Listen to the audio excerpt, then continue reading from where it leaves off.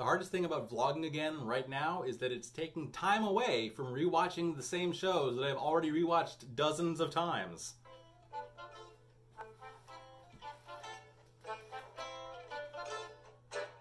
Hello Paul Talkers and other viewers. This is day two of my Q Veda, but my 21st day of self-isolating.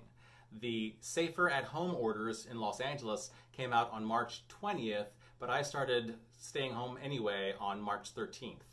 You should also stay home because that is the biggest thing that most of us can do to reduce the spread of COVID 19. You've probably heard that before, but maybe you don't know what that means. First of all, it's not an overreaction. This virus is the type of SARS that's similar to pneumonia, and those things are already deadly, but this new variant seems to be more determined.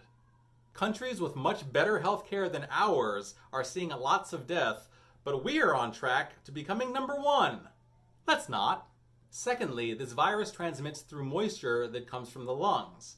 You can get it directly if someone coughs or sneezes on you, but you can also get it if that someone touches and infects something that you then touch and infect yourself with because you haven't washed off your hands first. Staying six feet away from everybody makes a huge difference. Pretend that you're playing a game of ultimate tag with everybody in the world, except everyone is already it, and anybody who gets tagged can die. But thirdly, there are still things you can do. Wash your hands for at least 20 seconds whenever you touch anything. The soap exposure can break down the virus that you got on you so that it can't make you sick. Disinfect hard stuff that you have to touch. That's your phone, your keyboard, your glasses, doorknobs. Even if you've been washing your hands, you may have accidentally touched something without realizing it. Wear a simple face mask. This does not prevent the disease.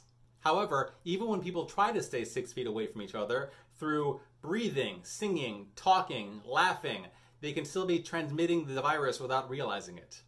The mask reduces the spread just by stopping water particles.